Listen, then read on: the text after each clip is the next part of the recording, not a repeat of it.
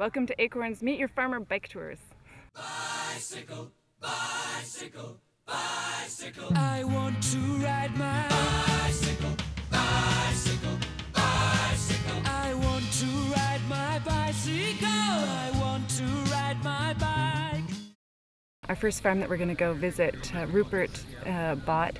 He's got a variety of crops, greenhouse, and livestock. So we're pretty excited that we're going to be able to kind of see what's been happening with this resurgence in, uh, in local organic food. Oh, and here's Rupert, your host. hey, Rupert. For a minute. um, welcome to Ironwood Farm. Uh, it's a busy day, and we're just shearing, finishing shearing the sheep.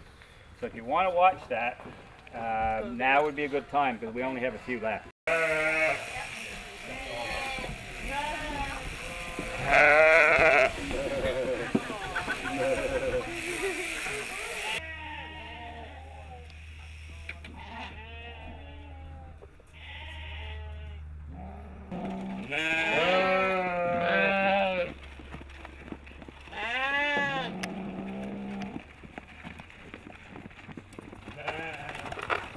then gradually we've diversified away from tomatoes and are growing a variety of crops. Yeah.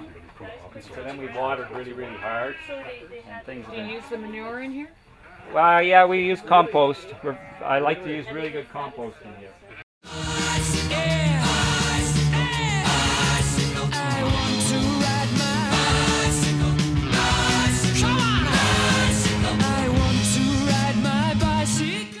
Second stop is at Jamie Cornetta's farm. They've got a small CSA and then they do you know, all sorts of, uh, of livestock. I think people are going to be very impressed when they go there and they see you know a small herd um, you know, of, of our beef cattle and the Berkshire pork. But pigs really are, are pretty fastidious. People, you know, you'd like because they'll go to the bathroom like over there, and then everything they'll eat. They don't really. They're really, really clean animals. They just like to make messes, I, I would say, you know.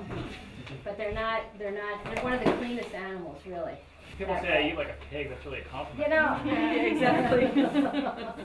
Where your room looks like a pigsty? Good for you.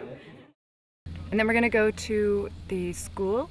The Dr. Arthur Hines School is well known for its school garden, which is a vegetable garden that feeds back into the school cafeteria.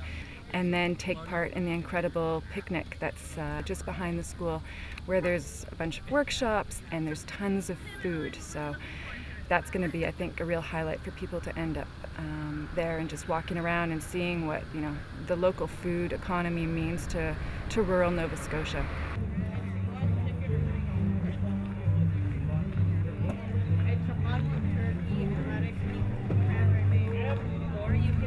Just with.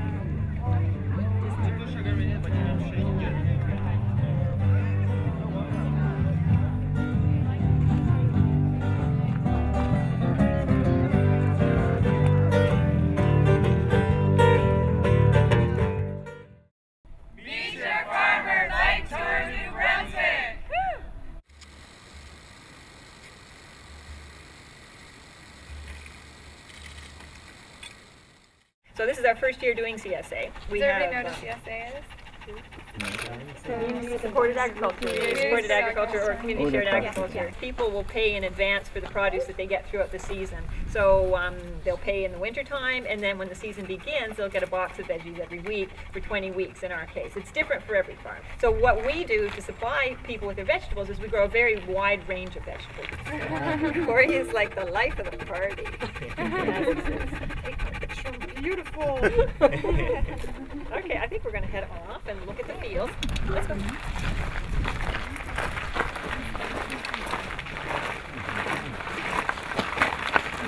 One of the most interesting things is there's one, if you can see, there's one tomato that's really, really tall, taller than all the rest of them. That funny looking thing. That one was seed that I saved from a fruit that I got from my aunt who got it from her brother who got it from this old Italian guy who got it from, you know, passed down from families generation after generation. So that's a true heirloom.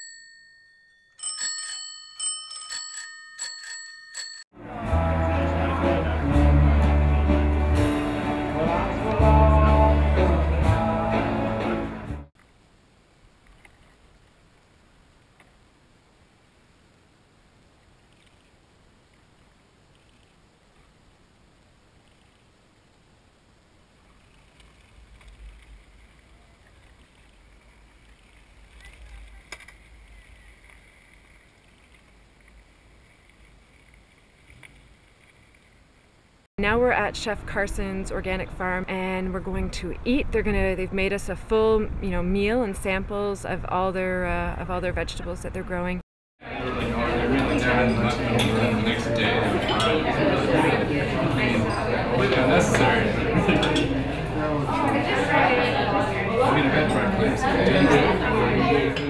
The whole idea of the Meet Your Farmer bike tour is just to get people engaged and I think passionate really about about their food.